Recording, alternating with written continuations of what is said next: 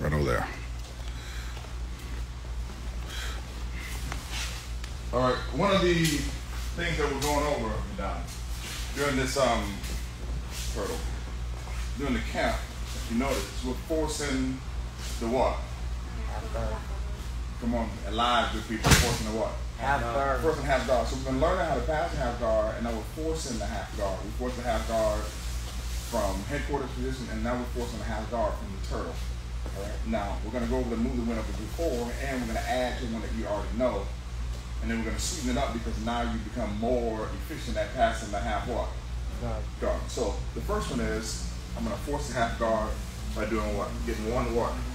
One hook in. Once I get one hook in, the part that's open there, I, if I want, if I get deep in the lapel, great. If not, I just grab the, I just grab the, the outside of the cloth here, push down on this end, or grab the cloth and push it and I go to the top what? Top corner. I roll to the top corner. Where I hook it, man, I roll all the way. Why? Because I want, I want him to fight to keep the half guard. I push him off me. This hand slides over, back. Now I got the half guard position. I need to clamp my left knee close to the what? My right knee close to the what? Body. Boom! I clamp my right knee close to the body. Then I start bringing a massive amount of what? Pressure. Massive amount of pressure. At this particular time, I can choose what I want to do. I can head to the ground, tripod up, cut the knee across, or if he's not allowing me to move those knees, I can do what? Use my what? Use my instep of my foot, come in and peel my foot out. Now if I can't get my foot out, he's too tough, he won't get it. I try to get the instep, then I cut my knee all the way right across, keeping this foot hooked, pushing off, moving myself right into the what? Right. Get the heartbeat revitalized. Keeping all my weight on the what? Chest. Pulling up, moving to the posterior case what? System, right? It's a one at time. Number two, the move that we already know is the what drill? From the turtle. Go home drill. Go home drill. This plenty of times. Move forward a line, please. So the go home drill, we want to force ourselves to the half guard. Grab the back of the collar, the right hand. Grab the lat with the left hand. I jam my left knee what? In this space as I sit down and make the letter what? I make the letter L. I don't pull up, do I?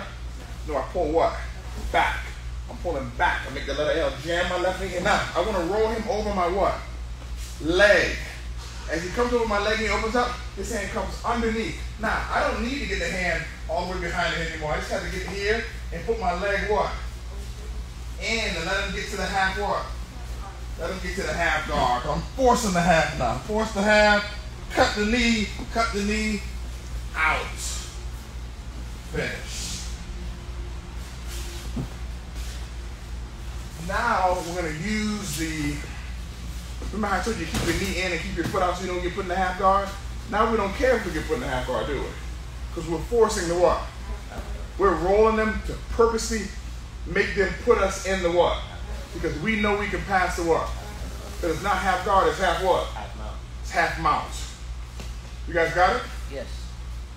So what we're gonna do is hook in, roll, half mount, pass, go home drill slow, half mile, pass. Understood? God bless you. We got 20 minutes of this. One, two, three. Let's go. Let's hit it.